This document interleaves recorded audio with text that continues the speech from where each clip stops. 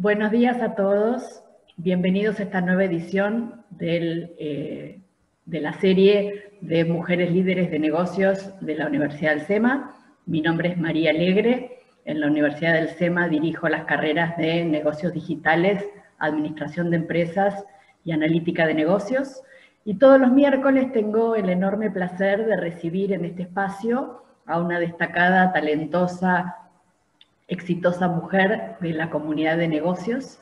Eh, en este ciclo que tiene como objetivo un poco esto de convocar mujeres que inspiran, sabemos que Em, la representación de mujeres en las posiciones de alta responsabilidad en Argentina y en el mundo es un poco una asignatura pendiente en el espacio, en términos de que hay mucho espacio de oportunidad para mejorar la representación, y nos parece que una enorme forma de estimular esto es mostrar el enorme talento femenino que tenemos de las mujeres que han llegado, que han logrado ocupar estas posiciones de responsabilidad, y bueno, y entonces todos los miércoles recibimos a una talentosa mujer para que venga a lucir un poco lo que sabe, lo que hace, aquello a lo que se dedica y desde lo que ha logrado construir su carrera en, la comunidad de negocios. Hoy tengo el enorme placer de recibir a Victoria eh, Cole, ahora la voy a presentar, pero desde ya me adelanto para invitar a todos ustedes a que durante la presentación vayan acercándonos sus preguntas por ese botón que dice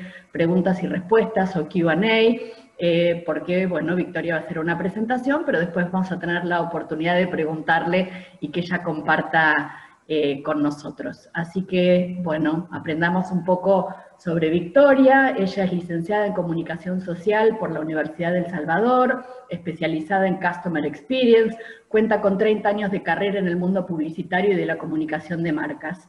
Victoria dio sus primeros pasos en BBDO, Ogilvy eh, Publicis y tras una experiencia en eh, J. Walter Thompson en México, regresó a la Argentina y se incorporó a Wunderman Buenos Aires donde fue creciendo hasta ser elegida CEO en el año 2019. Hoy lidera una compañía con más de 450 colaboradores que trabaja para clientes locales y globales como Movistar, Banco Galicia, Best Buy, MetLife, Microsoft, eh, Pago Fácil, eh, Unilever, entre tantos otros. Así que bueno, un enorme placer para nosotros recibir la victoria hoy en la Universidad del SEMA. Bueno, y además con esto, eh, este elemento que estarán notando que nos ha propuesto, que me parece muy divertido y nos hace aprender a todos, que es que tenemos un, un subtitulado inteligente para que esta charla sea más inclusiva de lo que habitualmente son estos webinars, donde, bueno, la verdad es que eh, creo que es la primera vez que tenemos una actividad donde alguien que no escucha puede estar participando de una manera eh, donde no se va a perder nada o muy poco, lo poco que se equivoca el, digamos, el programa de inteligencia artificial que traduce a texto lo que uno habla, ¿no? Así que un, un privilegio tenerte, Vicky, adelante. Muchas gracias. Gracias, María, por tan linda presentación. Muchas gracias. Gracias por esta convocatoria es un placer y un orgullo total estar en tan prestigiosa universidad y compartiendo este ciclo con maravillosas mujeres que estuvieron antes y que seguro que van a estar ahora en el futuro y con vos y con los chicos. Así que gracias primero, así enorme. Bueno, y como les dijo María, em, esto es una herramienta que lo pueden usar todos y todas, que es del PowerPoint. Después si quieren vemos cómo, pues la estuvimos explorando hoy bien, no es perfecta, como nada es perfecto, como ninguno de nosotros somos perfectos o perfectas, eh, con lo cual queríamos probar, queremos que esto realmente sea, una presentación inclusiva, porque de eso se trata un poco toda, la presentación. Y eh, bueno, si alguien le incomoda o distrae, cuéntenos en el chat para también nosotros ir aprendiendo y calculo también los chicos para aprender las próximas presentaciones. ¿sí? Así que de nuevo, gracias por tan linda bienvenida. Soy Vicky eh, y lo que vamos a hablar hoy es de eh, lo que es la infodemia y el rol de las marcas. Qué difícil palabra infodemia, ¿no? Hablando de pandemias, ¿sí? de la información. Em, justamente esta pandemia trajo muchísimos cambios, eso no estoy diciendo ninguna novedad, y no solo modificó nuestra forma de relacionarnos, claramente esta conversación que estamos teniendo nunca la hubiéramos tenido así, Eh, nuestra forma de trabajar ya no es más home office, es office home, ¿no? De comprar, es todo e-commerce, todo el día toca, quizás en el medio de la presentación me toca el timbre Mercado Libre, así que yo lo voy a buscar, no sé, alguno habrá y yo lo voy a buscar. nuestra forma de socializar, los cumpleaños, ¿sí? Eh, pero sobre todo nuestra manera de comunicarnos. ¿no? es distinto como nos comunicamos ahora, es distinto comunicarnos y estar viéndonos todo el tiempo nosotros, este reflejo permanente de este espejo en la pantalla, cómo, nos comunicamos con nosotros mismos y con los otros, ¿no? Necesitamos ser más claros, necesitamos otra manera de comunicarnos. Eh, y si quedaba alguna duda, ¿no? Antes de la pandemia de que todo pasa por Internet, por la Internet, como digo yo, eh, y por las redes sociales, la pandemia nos demostró más que nunca que esto es así, esto se acelera, ¿sí? No, es que empieza, sino que todo estaba a un ritmo y todo se acelera. El tráfico de Internet creció un 65% en el aislamiento. Este, este es, un dato de abril. Eh, no sé si les pasa a ustedes que el fin de semana no quieren ver una pantalla. Es como que yo me trato de olvidar del celular. Yo antes leía el diario el fin de semana en la computadora, ahora la cierro, es como, ¿no? La office que se cierra es la computadora y no, hay posibilidad de que se abra. Con lo cual mi lectura está siendo mucho más superflua. Y nosotros desde Wunderman Thompson tenemos una división que se llama Insights, Wunderman Thompson Insights, donde indagamos cómo la gente usa Internet, porque justamente la agencia es una agencia que se destaca por lo que es digital, creatividad, data y todo lo que es tecnología, eh, y con lo cual hay una división multidisciplinaria de gente de contenido, de estrategia y de data, que justamente analizamos la data para poder actuar, ¿no? Para nuestros clientes y para poder compartir información. Eh, entonces, esta es la, la, anteúltima infografía que publicamos, siempre es abierta, y lo que vimos es estos nuevos hábitos con las redes, como veníamos hablando en la pandemia, del nuevo zapping, ¿no? Antes el zapping era, o sea, era prime time, era la tele a tal hora, ¿no? Después de cenar, tales canales, prime time. No, o sea, la tele obviamente se sigue viendo, estas cosas se complementan, nada muere, todo se va transformando y se va segmentando, ¿no? Entonces el prime time ahora de, de Instagram es justamente Instagram entre las 19 y las 3 de la mañana. No sé si les pasa a ustedes que agarran el celular y tienen todas las ventanitas abiertas arriba de vivos. Entonces uno empieza a hacer, tú, tú, esto me interesa, esto no. Y empieza a hacer el zapping con el dedo pero lo bueno es que podemos interactuar, ¿no? Con esa persona, con esa empresa, con esa marca que me está, que, está haciendo este, este, vivo. TikTok. TikTok en la pandemia explotó, ¿sí? TikTok era una red social para jóvenes y los más 30 ahora tomaron también, o sea, tomaron la red, hicieron un montón de cosas donde todos los protagonistas son gente generalmente la abuela, el papá, la mamá, ¿sí? Y son cosas que son, ya empieza a ser para toda la familia, ¿sí? Acá tenemos datos como, por ejemplo, que TikTok dinero, TikTok parejas, que son desafíos que se hacían, fueron los más buscados en Google Argentina durante julio del 2020. Otra cosa para destacar es el revival de Twitter. Twitter, todo el mundo decía, uh, bueno, Twitter está, estaba, estaba medio con tendencia a la baja, y no, con la pandemia, esta, esta, esta manera que necesitamos, o la gente necesita, yo no soy muy tuitera, pero la gente necesita de poder descargarse, que a veces es bastante doloroso, ¿no? Las cosas que se dicen en Twitter, y bastante ofensivo, esta, esta cosa que tienen las redes también de poder decir sin ver la cara al otro y decir cosas con esta cosa del anonimato que duelen mucho, con lo cual los invito siempre, las invito a reflexionar sobre qué compartimos eh, y qué contenido generamos, pero aumentó un 26% Twitter en la pandemia. Twitch. Twitch es una plataforma que empezó como siendo una plataforma de streaming de, de juegos, de videojuegos, y ahora también streamea clases de cocina, o sea, streamea otras cosas que no solamente son juegos, ¿no? el foco de la generación Z.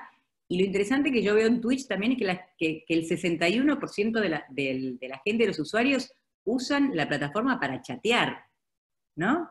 O sea, no solamente chateamos por WhatsApp, sino también por Twitch. Lo que es el e-commerce, el social commerce, calculo que si, si, en una audiencia, en un público, levantan la mano a ver quién compró esta semana y hoy es miércoles, seguro que más de la mitad levantan la mano. Eh, y lo, interesante, de, aparte del social commerce, es que el social commerce es comprar a través de las redes sociales.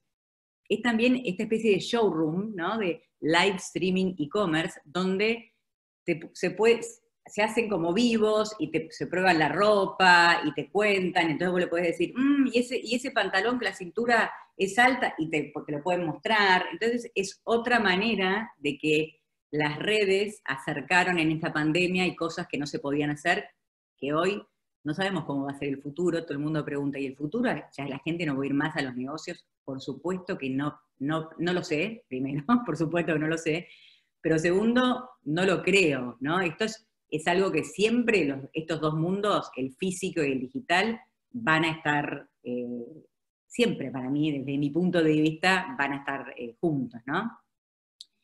Entonces, nosotros pensamos, o pienso, que es un buen momento para, para, para pensar y pensarnos justamente qué información circula, a qué nos exponemos, qué cosas compartimos, qué cosas generamos, ¿no? Lindas preguntas.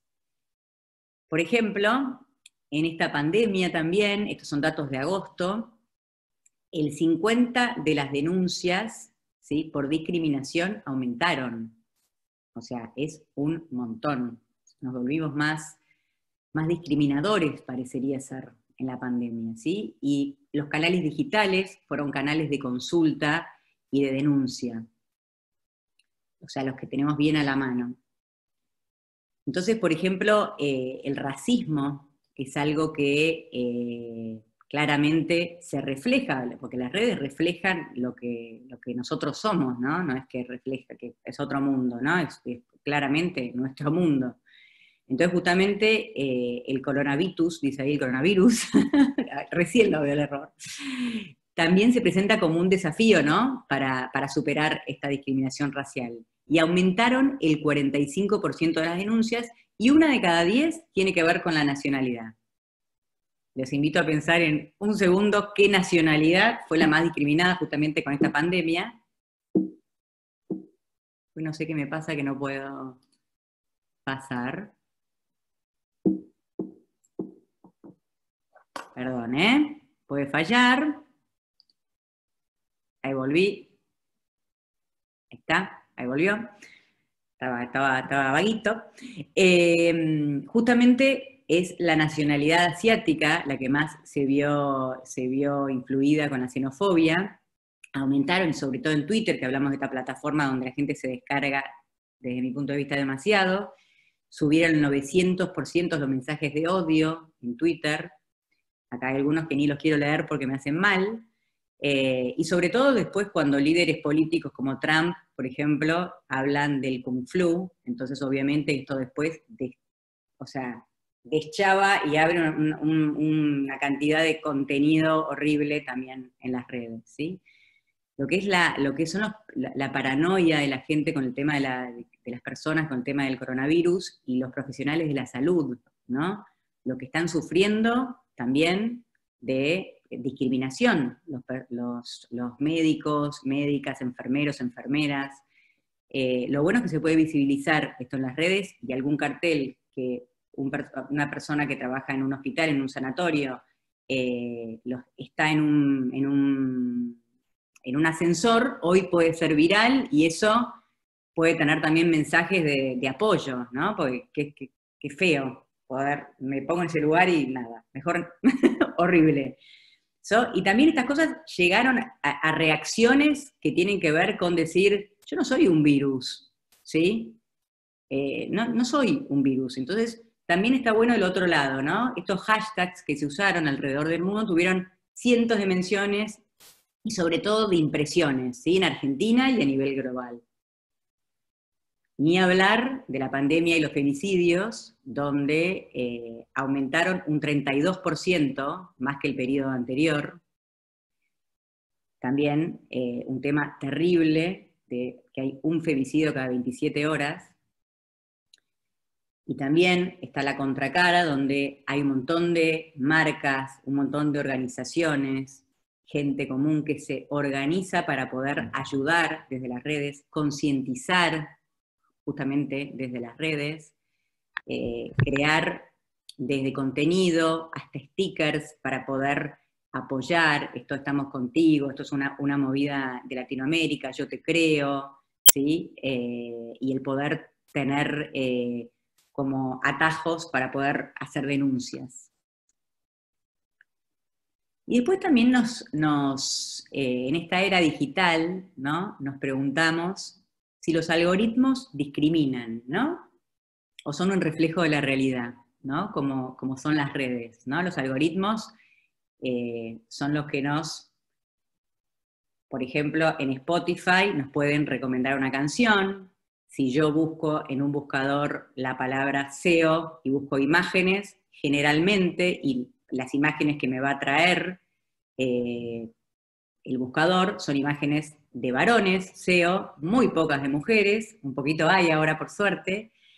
Si yo pongo tareas de limpieza, por ejemplo, en, otro, en, el, el mismo buscador, en un buscador, también, ¿qué pasa? Me trae imágenes generalmente de mujeres limpiando, muy pocas de varones limpiando. Entonces nos preguntamos, ¿son los algoritmos que discriminan? Acá decimos que los algoritmos también ejercen discriminación, Eh, el 50, o sea, tenemos más probabilidades de ver en Instagram mujeres en bikini, ¿sí? tenemos un 54% más de, probabilidades de ver mujeres en bikinis en, el, en tu newsfeed de Instagram. Por eso, chicos, eh, fotos mías no ven, porque no pongo en bikini. tampoco, tampoco sería bueno verlas. Eh, y mucho menos por ciento, el 28% de, de, varones. ¿Y qué pasa con TikTok? TikTok este año tuvo un montón de denuncias, justamente criticado por dar mayor visibilidad a personas consideradas con cuerpos hegemónicos. Y lo bueno es que hay personajes eh, mediáticos, como esta cantante Lizo, que yo la, conocí ahora porque en la agencia me la hicieron conocer, que se caracteriza por tener un cuerpo voluptuoso, donde ella llamó la atención y dijo, ¿qué onda a TikTok? Que no están poniendo mis fotos en bikini. ¿Por qué? ¿Porque no tengo un cuerpo hegemónico? Entonces, llegamos a la conclusión claramente que los algoritmos no son los que discriminan, los que discriminamos somos las personas que creamos, que programamos esos algoritmos, ¿sí? Y no solamente los programamos, sino que también los entrenamos, y ese entrenamiento se hace sobre bases de datos que también creamos los humanos, las personas, con lo cual los que, los que discriminamos volvemos a ser nosotros, que tenemos sesgos, que son cosas que son naturales. El tema es ser conscientes de esto para poder generar un cambio. Y decimos, ¿por qué pasa esto? Y acá hablamos de la infodemia, ¿no? de lo que es la desinformación o la sobreinformación. ¿Y qué pasa cuando estamos desinformados o sobreinformados y decimos, no quiero saber más, este tema no quiero saber más nada? Discriminamos. ¿Y por qué discriminamos? Porque hacemos esto que le hace la mente, que se llama ahorro cognitivo. Y el ahorro cognitivo lo que se trata es justamente eh, estos atajos ¿no? que hace la mente cuando generalmente tiene poca información de un tema. Entonces, agarra lo primero que escuchó, digamos, lo último que escuchó, ¿sí? y lo valida como que es válido eso que escuchó o escuchó en la cola del supermercado o, lo leyó en una, en una red social, o sigue a alguien que comparte contenido, o en su grupo de WhatsApp, todo el día están mandando información de un tema, ¿sí? Entonces, por eso decimos que qué importante es estas preguntas que nos hicimos al principio de qué compartimos, a quién estamos siguiendo, eh, hasta qué marcas compramos, ¿Quién, está realmente comprometido con todo esto, ¿no? Esto, esto genera estereotipos, que generan prejuicios, que generan discriminación. Entonces vamos a hacer un zoom en estereotipos. Eh, y justamente la publicidad ¿sí? fue responsable y sigue siendo responsable también yo, como dijo, María, hace 30 años trabajo eh, en esto. Cumplí la semana pasada 50 años, primera vez que lo digo así, me cuesta un poco todavía, pero cumplí 50 años, empecé a trabajar a los 20 años. Y la publicidad es una industria que generó y perpetuó y sigue perpetuando estereotipos. Y yo también pido perdón siempre cuando hablo de este tema, porque yo fui parte y soy parte de esta industria, por eso tengo mucho compromiso en poder cambiarlo. Y, estamos muchos y muchas comprometidos con esto, y yo eh, ya veo muchísimos cambios y muchas marcas que están cambiando y mucha gente que ya está reclamando, entonces eso está buenísimo, me pone muy feliz. ¿no? Entonces volvemos a decir, nosotros también caemos en este, como comunicadores o como comunicadores en este ahorro cognitivo, de decir lo primero que se me viene a la mente o lo primero que me dijeron de chica, ¿no? Eh, el otro día leía lo que son las nuevas versiones de los cuentos que nos contaban, por ejemplo, Blancanieves, así lo voy a hacer bien cortito, Blancanieves limpiaba la casa de los siete enanitos, ¿no? Rol de la mujer la madrastra, que es mala, o sea, todas las madrastras son muy malas, ¿sí? O sea, ya está, olvídate. ¿sí? Ahora con las parejas ensambladas, pobres las madrastras, todo lo que tenemos que hacer, ¿no? Porque ya en todos los cuentos somos las, malas de la película. Entonces, eh, la envenena Blancanieves la madrastra, porque la quiere sacar de su camino, ¿no? Entonces ella, ella ¿qué hace? O sea, se envenena, se desmaya, y los enanitos, en vez de llamar al SAME, a un médico, ¿sí? pues está envenenada, llamen al príncipe para que con un beso la despierte, ¿no? O sea, el hombre salvador. Entonces, sí, esto es algo, ¿no? Chico, pero lo que digo es, si vemos esto, vemos contenido que tiene relación con, estas cosas que estoy diciendo, eh, después, es lógico que lo primero que hagamos y lo primero que pensemos es que está bien, ¿no? Cosas que no están bien, cosas que naturalizamos, ¿no? Entonces, miren qué bueno el impacto de esto, mis amigas de Bridge the Gap lo publicaron creo que ayer o antes de ayer, lo que es el efecto Scully.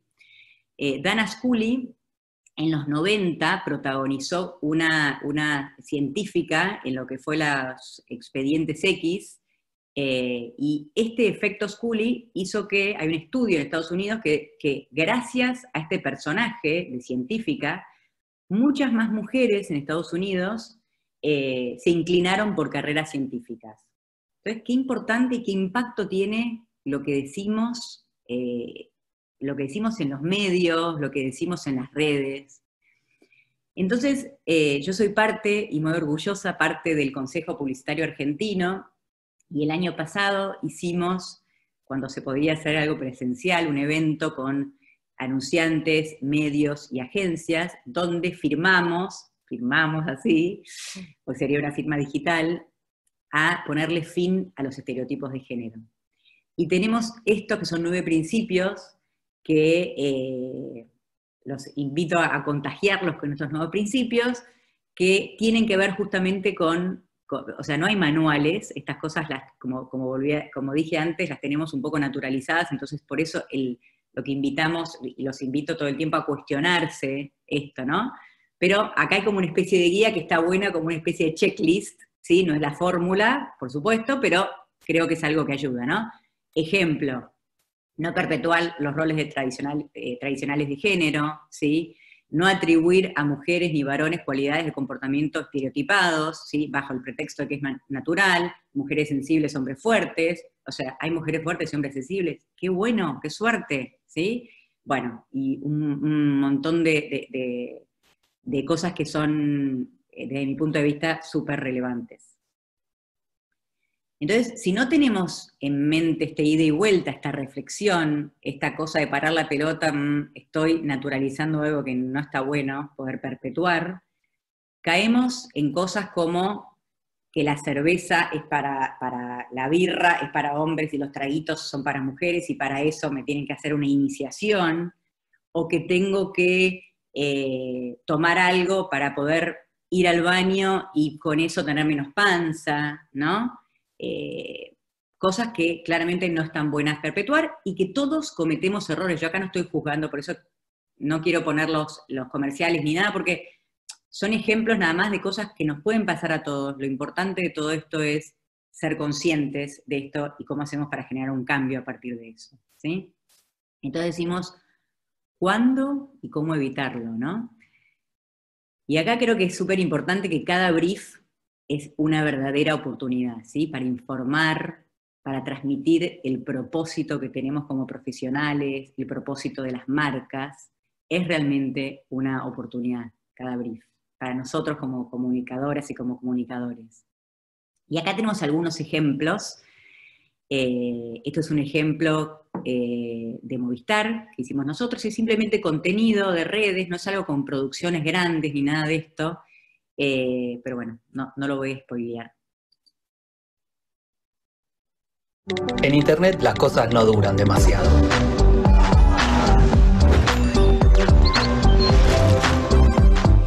Pero hay algo que sí dura mucho.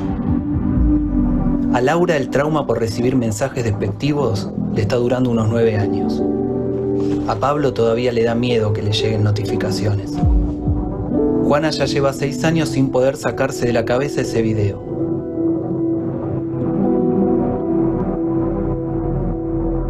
Movistar.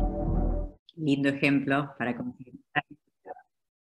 En Internet las este cosas... otro ejemplo de Microsoft, que es de, es de, de Inglaterra. No lo spoileo tampoco.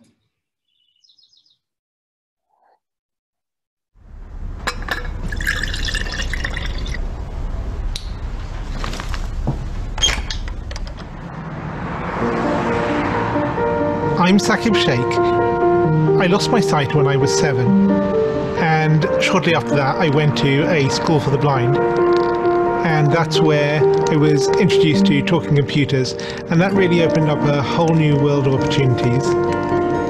I joined Microsoft 10 years ago as a software engineer. I love making things which improve people's lives.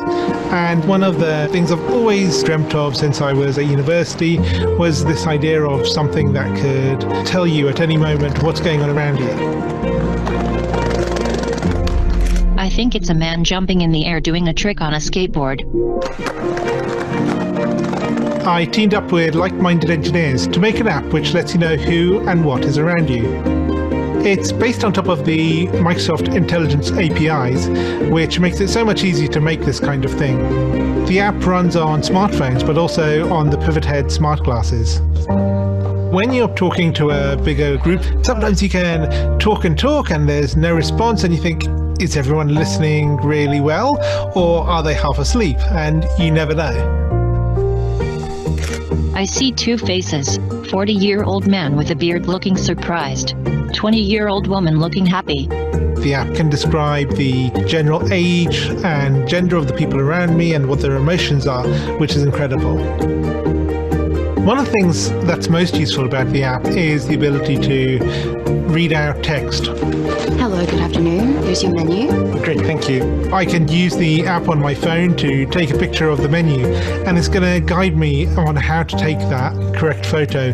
Move camera to the bottom right and away from the document. And then it'll recognize the text. Read me the headings. I see appetizers, salads, paninis, pizzas, pastas. Hi. Years ago, this was science fiction. I never thought it would be something that you could actually do. But artificial intelligence is improving at an ever faster rate. And I'm really excited to see where we can take this. As engineers, we're always standing on the shoulders of giants, building on top of what went before. And in this case, we've taken years of research from Microsoft Research to pull this off.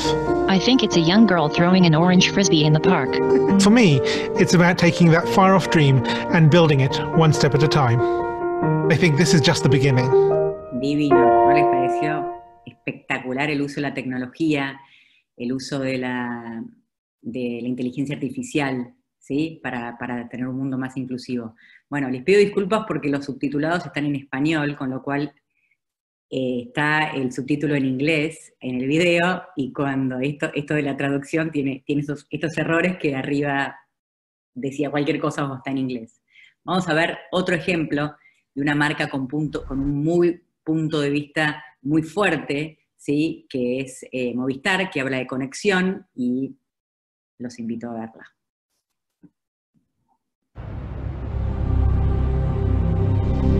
No sabes lo que haría por salir a la calle tranquila. Caminar. pasear de la mano. Que vayamos al cine. Tomar unos mates con Lu en la plaza. Un buen chape en la calle. Poder trabajar. Sentirme libre. Abrazar a mi viejo.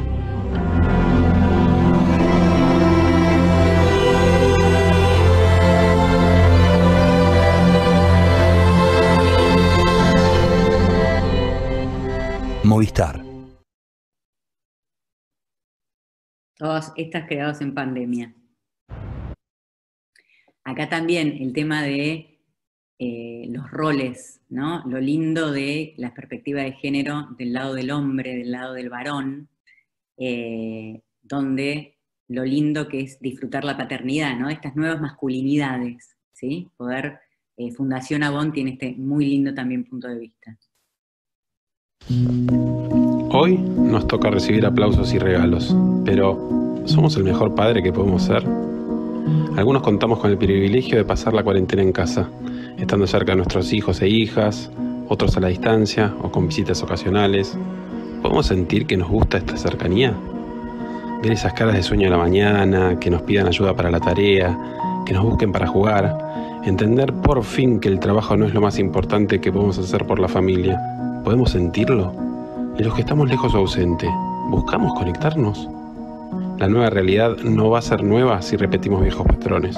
¿No es hora de que nos hagamos cargo de los cuidados, de escuchar a nuestros hijos e hijas con empatía, siendo responsables de nuestras emociones? ¿Qué pasa con los hijos y las hijas de nuestras parejas? ¿Los y las cuidamos de la misma manera? ¿Seguimos bajo el paradigma del lazo de sangre o entendemos que en un mundo de familias ensambladas la responsabilidad afectiva es mayor que cualquier obligación escrita en un papel? En este Día del Padre, en un contexto nunca antes vivido, ¿revisamos nuestro rol para crear una realidad más justa y amorosa? que nunca te había visto, pero ahora que veo bien, me quiero ir con También un punto de vista que no vemos generalmente y está buenísimo. Acá también marcas que crean comunidad, marcas que hacen eh, cosas por la comunidad. De nuevo, acá no miren para arriba porque el subtítulo está en inglés este video, el subtítulo y es el último de los videos, no los aburro más con videos. Es un caso de Airbnb. Australia's country towns are slowly dying. 65% have disappeared since Federation. Unemployment, drought, xenophobia, bushfires, waning tourism, all tearing communities apart. The local pub is often the only glue left holding these towns together. But how much longer will that glue stick? Country pubs and country towns are in need of more guests. Luckily, we know plenty. G'day, mate. Introducing the Country Pub Project, an Airbnb initiative to revive country towns by revitalising country pubs. We launched by asking Australia to nominate their favourite pubs. Places in need of a little TLC and a whole lot more guests. Over 9,000 entries were received and six pubs were chosen. Each received a $50,000 grant along with a team of design professionals who partnered with the community to restore the pub to its former glory. A new category of listings was featured on our platform, connecting rural communities to our community of millions. We then turned Australia's tyranny of distance into our biggest drawcard, with region-specific content encouraging city dwellers to venture past their local pub and find their not-so-local instead. We are checking out six of Australia's favourite country pubs this morning. The most authentic Australian experience available. With unprompted support from local communities, state tourism, and national government, it didn't take long for word to spread. By boosting awareness of Australia's country towns, we did the same for our brand, becoming Australia's favourite holiday booking site once again. The Country Pub Project, putting small town Australia back on the map, one pub at a time. I might have another. Bueno, qué lindo, esto es un muy lindo ejemplo para mí donde marcas pueden construir comunidad y también rentabilidad, ¿no? Porque siempre hablamos de, de purpose y profit, ¿no? Las dos cosas. Una, o sea, No es que, ay, qué buenos somos. Es qué buenos somos y, también podemos ser rentables, las dos cosas. Creo que ahí es donde se potencia, ¿no? Eh, y, justamente si nosotros queremos comunicar mejor, que esta es nuestra revisión, nuestra invitación, eh, primero tenemos que mirarnos siempre hacia adentro, ¿no? Como en la vida, creo. Eh, y acá trajimos unos muy lindos ejemplos donde marcas no solamente dicen, sino que hacen, ¿no? Starbucks en México que inaugura una tienda solamente atendida para gente mayor de, por gente mayor de 60 años. Carrefour, acá en Argentina, que tiene eh, la hora silenciosa para personas con, TEA, con, autismo. Entonces hay ciertos días en ciertos horarios, martes y jueves, donde no hay nada de ruido en Carrefour. Qué importante es si, si, tenés eh, alguna de estas esta discapacidad, poder ir y estar tranquilo en el supermercado, ¿no? Y no, y no sentirte aturdido o aturdida. Nosotros en Wunderman Thompson tenemos una división que se llama justamente Accessibility, que la lidera desde Nueva York una reina total que las invito, a que la sigan, que se llama Cristina Malon, Cristina con CH. Eh, Cristina eh, tiene paralizado los dos brazos y a partir de ahí ella, que trabajó siempre en publicidad, empezó a, plantear y a plantearnos cosas con respecto a todo lo que es el diseño inclusivo y la accesibilidad al contenido, ¿no? Por eso hablamos hoy con, estos subtítulos, que pueden a veces ser incómodos, pero qué cómodos son para el que nos escucha poder participar. Eh, entonces, no solamente lo que es diseño inclusivo en que si alguien que tiene dislexia poder que el texto sea comprensible, no sea un chino, que sea algo simple, eh, o, alguien que tiene, mm, ay, se me olvida siempre la palabra cuando alguien no ve los colores, bueno, me lo, olvido chicos, cumplí 50, se nota que cumplí 50. Eh, daltónico. Cuando alguien es daltónico, daltónica, también el tema de los contrastes de colores eh, también es importante, y también el acceso al contenido, si una foto está descripta, los lectores la pueden leer, si no, no se puede leer una foto, salvo con los anteojos del señor de Microsoft. Eh, y el código que está hecho eh, una web, también es importante hacerlo de la manera tal que estos lectores, estas tools que usan las personas con discapacidad, puedan leer eh, toda la página. ¿sí? Eso es algo que es fundamental, cómo está construido y cómo está diseñado. Así que bueno, para terminar, dejando unas conclusiones, ¿sí? para invitar siempre a la reflexión, eh, y siempre desde entender que nos podemos equivocar, ¿no? Creo que ahí está, me parece que sí. Eh, ¿Cuál es un buen remedio contra la infodemia? Con esto, primero, informarnos, informarnos con lo que realmente creemos que tiene que ver con nosotros, con nuestros principios, con nuestros valores, ¿no? Para que este ahorro cognitivo, cuando enganche el, el, camino corto, sea algo bueno que enganche y no algo que nos quede o que nos haya contaminado, ¿sí? Justamente aprender a desaprender, clave, como nos cuesta muchas veces, abrazar el error, esto que hablaba antes, reflexionar, cuestionar, cuestionarnos, ¿sí? Antes de compartir algo, bajarnos de algunos grupos que nos hacen mal, ¿sí? Y también qué, qué marcas eh, realmente nos importan, ¿no? Eh, porque qué marcas tienen puntos de vista y hacen algo, no solamente para ganar plata, porque las marcas lo van a hacer, porque es parte de, obvia, es, parte, es parte de los negocios, ¿sí? pero cómo también usan, usando sus presupuestos para dar puntos de vista y, hacer una sociedad mejor. Eh, y pasar de influencers a referentes, ¿no? Lo que son quizás alguien que, eh, que, no es especialista, pero ah, está de moda, puede ser un influencer, o, alguien que, me pueda hablar de, alimentación, o una, o una nutricionista, que también puede ser un influencer, pero es referente. ¿sí? Y sobre todo, ¿sí? Y esto es lo más difícil muchas veces de lograr, pero lo, más, lo que nos hace dormir a todos mucho más tranquilos, que es la coherencia entre el decir y el hacer, ¿no? Siempre hablamos del storytelling, ¿no? Que es muy discursivo publicitario, y el story doing. El hacer. Sobre todo esto, se manifestó muchísimo más ahora en la pandemia, donde eh, las personas no quieren escuchar más zaraza publicitario, sino que quieren escuchar, dale, ¿qué me vas a dar? ¿Qué vas a hacer por mí? ¿Qué vas a hacer por la comunidad? ¿Qué vas a hacer por el planeta? ¿Qué vas a hacer como marca? Y justamente para eso repensar nuestro rol de comunicadores y comunicadoras, ¿sí? Eh, bueno, y esto es un poco lo mismo, ¿no? O sea, comprometernos con marcas con propósito que plantean un punto de vista simple, con perspectiva de género, diseño inclusivo, contenido accesible, representatividad, representatividad de cuerpos, de géneros, de razas, eh, de, de temas sociales también, ¿no? Y sustentabilidad.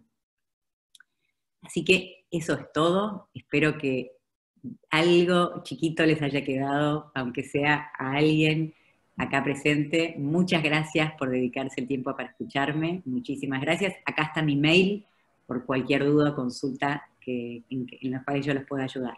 Muchas gracias. Excelente, Vicky, muy interesante, eh, muy rica la presentación.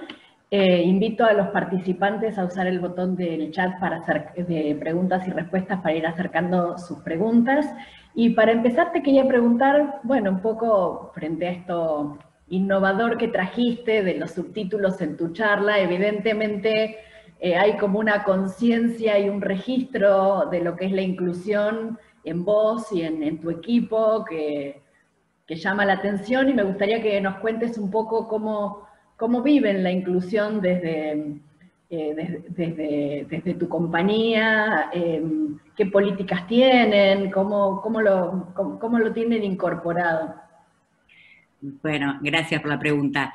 Em, sí, lo tenemos súper incorporados, creemos en la inclusión y la diversidad desde los equipos para poder entregar eh, material y comunicación que sea realmente diversa. Eh, y para eso, además de esta, de esta de esta división que tenemos de accessibility, tenemos mm. también perfiles con Asperger y perfiles con síndrome de Down trabajando en la agencia.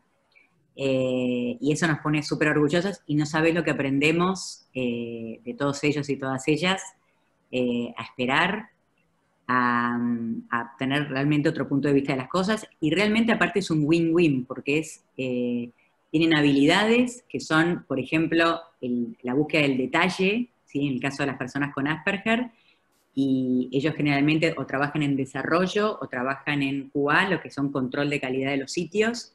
Entonces, realmente son un avión, eh, le tenés que decir, para eh, eh, este horario de descanso, ¿no? Ahora con la pandemia se hace todo más difícil, porque se cambian las estructuras, entonces costó acomodarnos, pero es muy rico para todos para todas. Acá eh, María Marcela Piñero pregunta, ¿hay empresas en el país que estén trabajando en esto de marcas con propósito? ¿Hasta qué punto, digamos, las multinacionales están comprometidas con este tipo de programas en Argentina?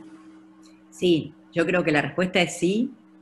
Eh, no todas, por supuesto, eh, pero hay ejemplos de multinacionales grandes como Unilever, por ejemplo, con DAV, que está súper comprometida con, y no es que no son marcas oportunistas, ¿no? Que toman esto porque está de moda, ¿no? Está de moda hablar del LGTB, está de moda hablar de que mujeres al poder, no, no. O sea, realmente el tema de la belleza real, de mostrar otro modelo de mujer, DAV lo tiene hace siglos, no, es de ahora. Entonces, hay un montón de marcas. Hay marcas, por ejemplo, como Arredo también, que emplea a mujeres que sufrieron, pasaron por violencia de género. O sea, hay un montón de marcas que hacen un montón de cosas, así que tenemos que empezar a mirar a esas marcas que hacen esas cosas muy lindas por la sociedad. Una cosa que te quería preguntar, porque por lo menos yo en mis clases lo noto un montón, es como un quiebre generacional, ¿no? Los chicos jóvenes vienen como con esto puesto en el cuerpo, incorporado como con una mirada de mayor justicia, de mayor inclusividad, que por ahí, no sé, yo cumplí un poquito más de 50, así que estamos ahí, digamos, eh, no, mucho, estoy unos añitos más arriba, en nuestra generación por ahí uno encuentra muchas personas que, están, que vienen como más duritas, ¿no? Y que tienen mucho que desaprender en ese sentido. ¿Cómo, cómo dado que además en tu equipo hay gente de todas las edades, porque tiene un, rango de edades muy, muy amplio, ¿cómo ves esto de las generaciones en relación a, esto de desaprender y de tener una mirada más inclusiva y de, y de quebrar estereotipos, ¿no? Sí, no, o sea, definitivamente están mejor chipeados y chipeadas, definitivamente, ¿no? Yo lo veo con mis hijos, que yo tengo mellizos de 21 años, eh, y realmente me corrigen cosas, me llaman la atención cosas que son, igualmente no todos, no es una cuestión solamente, ¿no? Como, como todo, no, es, no es generalizado, ¿no? No es que los más grandes eh, no y los más chicos sí. Sí, sí los más chicos están, están más abiertos y más permeables, eh, pero creo que es algo que también, o sea, e, estos chicos, digamos, estas generaciones fueron educados y educadas por mamás y papás que tienen todos estos sesgos, entonces a veces también es difícil eso. Acá hay otra persona del público, no tengo el nombre porque no lo puso, que habla de lo que es la discriminación por edad, ¿no? Esto de que, qué lugar hay hoy en las empresas o qué tan fácil es para las organizaciones dar cabida a la gente que tiene más de 45 años. Es un temón, eso, es un temón. Eh, por eso puse el caso de Starbucks, que me parecía súper interesante que abran una tienda, como siempre en la vida, ¿no? Estas cosas de los cupos que es solo para mayores de 60, pero bueno, en algún momento hay que hacerlo como para decir, listo, ¿no? O sea, e, estas personas están en la edad que, o sea, son jóvenes todavía, ¿no? O sea, vos recién dijiste, más 45, o sea, es algo que tenemos que tener todos muy presentes y aparte ¿qué más querés alguien en tu equipo que, esté, que sea maduro o madura? Que, o sea, no sé, a mí me, indigna cuando es solamente, eh, y, en la publicidad también hay bastante como más juventud de la que debería, ¿sí? Pero bueno, hay toda una generación todavía de gente más grande y eso lo celebro, que sigue estando. Acá Belén Martí hace una pregunta muy interesante. Dice, ¿qué pasa con esta línea que divide la comunicación interna y externa en las organizaciones? Eh, es una línea crecientemente porosa, ¿no? Deja de tener sentido, ¿qué sentido tiene? Esto hace mucho a lo que vos hablabas de la coherencia entre el decir y el hacer también, ¿no? A ver, en el mundo ideal, ¿sí? Que entiendo que no estamos en el mundo ideal, no debería existir esa línea porque debería ser transparente, creo, ¿no? O sea, lo que decimos, lo hacemos. O sea, si yo lo digo para afuera y después me doy vuelta y, o sea, hablo de la diversidad y todo, y después adentro de mi empresa no tengo ningún, mi equipo no es diverso, ¿sí? Acá estoy, soy, siendo, muy poco coherente. Aparte, realmente esos sesgos hacen que entreguemos mal, o sea, que nuestro delivery sea malo, ¿no? Hay, ejemplos como por ejemplo, ejemplos como por ejemplo, ¿no? cuando se testeó, cuando hablábamos de los algoritmos discriminatorios, ¿sí? que me olvidé de decirlo, me acuerdo ahora y creo que viene el caso, cuando se testean los autos autónomos al principio, no se habían testeado con gente de color. Entonces, vos imaginate que se acaba en el auto autónomo y solamente no atropellaba a la gente blanca, frenaba con la gente blanca. Terrible, o sea, terrible. ¿Y por qué es ese error? por los sesgos de quienes programan o quienes testean, ¿no? O sea, todo lo que es el reconocimiento corporal o facial. Eh, entonces, si, los equipos no son diversos, quizás a nadie se le ocurre que hay que. Entonces, o sea, es y diversos desde edad, de raza, de religión, de género, de todo, de nivel socioeconómico, de todo. No es fácil lograrlo tampoco, ¿eh? no estoy diciendo que yo no tengo la verdad, claramente. No, y además estamos en una sociedad donde cuando tenés marcas que chamullan y que no tienen una coherencia, te sacan tarjeta roja por redes de todos lados, porque todo se sabe, ¿no? Es muy difícil esconder qué es lo que uno hace. Es como que eventualmente todo sale a la luz y las, las incoherencias se denuncian y se pagan.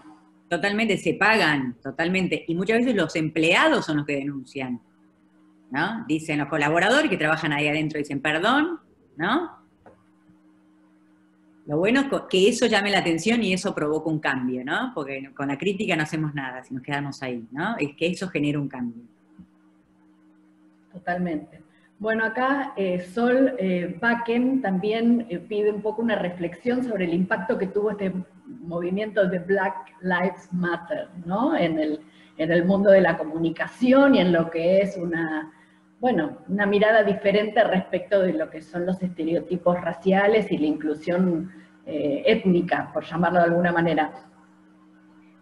Definitivamente, creo que eh, lamentablemente tiene que pasar un hecho tan feo y tan triste como el que pasó para que tomemos conciencia.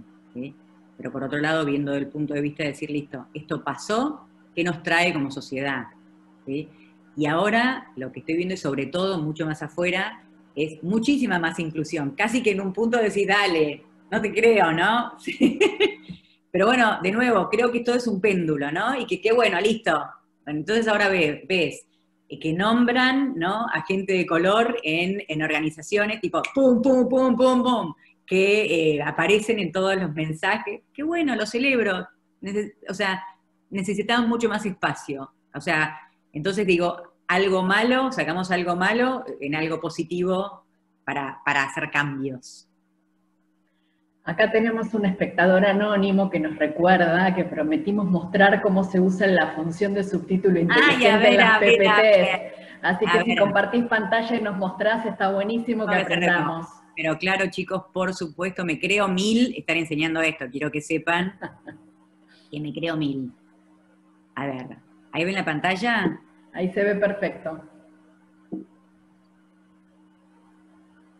Espera porque no... Ahí está. ¿Ven acá arriba que dice presentación con diapositivas? Este, se ve el fin de la presentación. Tenés que salir de proyectar para que podamos ver las otras funciones. Ay, ay, ay. Luis, ayúdame. Espera, a ver. Reanudar. Con Escape en general sale. Sí, sí, sí pero yo, yo, la estoy viendo. Se ve que lo hice, hice algo mal. ¿Sabes qué? A veces cuando compartí, hay dos formas de compartir pantalla. Una es compartir solamente el PowerPoint y otra es compartir toda la compu. Ah, ok.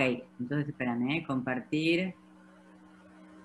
La primera que te aparece suele ser la de compartir la compu como un todo. Y si no tenés como abiertas las distintas cosas. Ahí que te veo vos, ¿no? École, ahora sí. ¿Ahí sí la ven? Ahí está perfecto, sí dale. Buenísimo, gracias. Eh, arriba en la barra dice presentación con diapositivas, ¿sí? Pingy, ahí yo puse usar siempre subtítulos, para no olvidarme de esto, ¿no? Pero lo que tenés que hacer primero es configurar, ¿sí? Entonces pones idioma hablado, español. Idioma de subtítulos, español.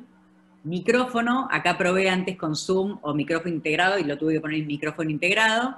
Y acá ves dónde pones eh, los subtítulos, ¿sí? Decidimos ponerlos arriba porque había subtitulados cosas en inglés, que al final fue peor, ¿no? Porque arriba quedaba cualquier cosa, pero bueno, esto fue, son elecciones. Pero vieron que es súper fácil, es una función del PowerPoint. O sea, Microsoft es una empresa muy inclusiva, muy inclusiva. Espectacular, genial, aprendimos todos. Y bueno, eh, también mencionaste a lo largo de tu presentación estas infografías abiertas, ustedes hacen un montón de estudios muy ricos y tienen datos actualizados. Por ahí nos podrías eh, compartir eh, por el chat o hacerle, hacerme llegar a mí y a, y a Dan y a mi equipo y nosotros podemos hacer llegar por mail a los participantes ¿Dónde se accede a toda esta data que está buenísima, no? En Gunderman Thompson, eh, Argentina, está todo en LinkedIn y está todo en Instagram también. En LinkedIn están, se pueden bajar ahí y descargar. Entonces ahí los invito a que nos sigan, Gunderman Thompson Argentina, y ahí publicamos todas las infografías y también tenemos los weekly trends, que son semanalmente cosas más chiquititas con un análisis más, más rápido, eh, que también los compartimos por las redes. Así que, Genial, información para todos. o sea que se los puede ir a buscar a la, a la página web de la empresa o seguirlos en redes y entonces ya no tenés que buscar nada porque directamente cuando aparecen publicaciones nuevas te llega. ¿no? Entonces no te perdés ninguna. Bueno, genial. Em, acá eh, comparto yo o contesto yo, mejor dicho, algunas preguntas.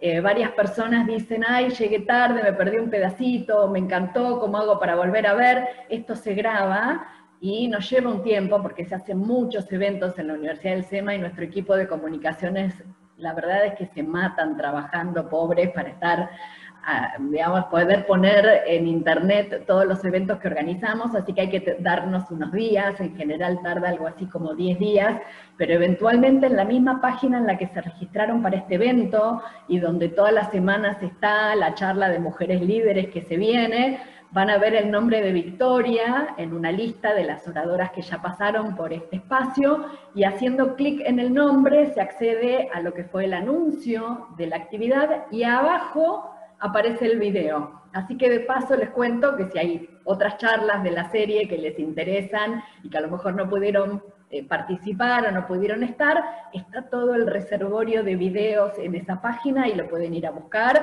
Simplemente, bueno, hay que dar unos días como para que esto, para que esto se, pueda, se pueda publicar.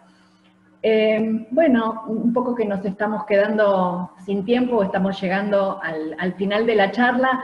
Me gustaría, Victoria, darte la oportunidad de que cierres, eh, que, no sé, compartas alguna reflexión, algún pensamiento, algún mensaje que quieras que, todos nos llevemos de, tu charla, que creo que además nos ha dado una dosis eh, de, de optimismo y de esperanza para un mundo más justo, en el fondo desde muchos ángulos, ¿no? Así que Adelante. Bueno, gracias. Eh, no sé mucho qué decir, solamente esto de decir que somos humanos y humanas, que nos vamos a equivocar siempre, pero lo lindo de, esto es poder siempre tener la intención de mejorar y la intención de, justamente de construir un mundo más justo. Desde, algo chiquitito, no tengo que ser eh, presidente del mundo mundial, ¿no? Desde algo chiquitito de no compartir algo que me llega y digo, no da esto. o sea, ya está, con eso ya hice un bien, ¿sí? Ya hice un bien que alguien después no se sienta mal, ya eduqué, ya dije, chicos, aflojen con esto, ¿no? O sea, ya no me entró eso en la cabeza, me hizo un bien a mí, hice un bien a los otros. Eh, así que nada, y los invito y las invito siempre a reflexionar si lo que estamos haciendo está bueno o no está bueno, no latiguearnos cuando no está bueno, sino decir, listo, bueno, me equivoqué, va, va, para adelante. Ese sería mi mensaje. Bueno, genial, Victoria. Muchísimas gracias. Acá muchísimas felicitaciones, elogios, agradecimientos de todo el mundo por el canal de chat. Ha sido una charla muy inspiradora. Así que, bueno, muchísimas gracias primero a Victoria por el privilegio de acompañarnos y de compartir un poco todo lo que ella hace y lo que ella sabe con nosotros hoy.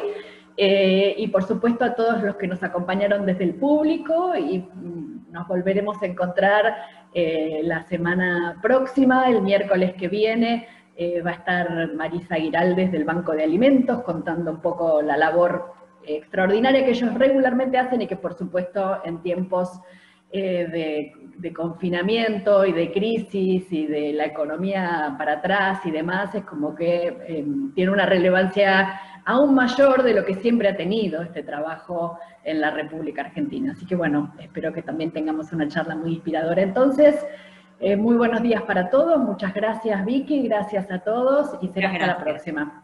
Muchísimas, muchísimas gracias. Gracias por la oportunidad. Que tengan lindo día. Chau, chau. Gracias. Adiós.